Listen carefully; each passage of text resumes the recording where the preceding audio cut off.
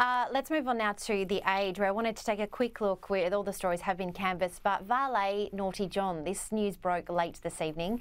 Play School stalwart John Hamblin has died. Many of you would probably remember John. He was a part of the, the great old crew from 1977 all the way up to the 1990s. He was joined alongside people like Noni Hazlehurst and Benita and Monique and Monica and all of those, all of those great, those people. Caleb, you would probably remember uh, John from your time watching Play School. I know I certainly do. And I remember playing uh, an ABC Kids podcast to my niece and nephew just a couple of months ago, where he introduced himself and he said, Hello, boys and girls.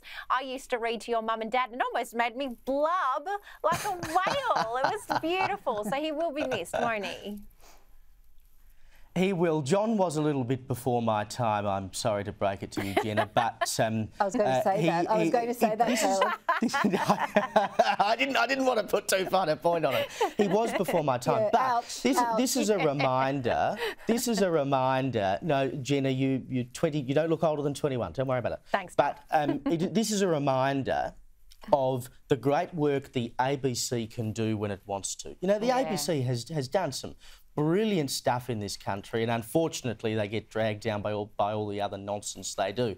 But it's things like Play School that have mm. been an institution for Australian children forever that the ABC should be focusing on, and the joy that it has brought and the the joy that John has brought, and yeah. Noni Hazlehurst and others, as you say, to Australian children is immeasurable. Absolutely. Long live Play School and, uh, and its new iteration, Bluey. We'd be lost without it, that's for sure.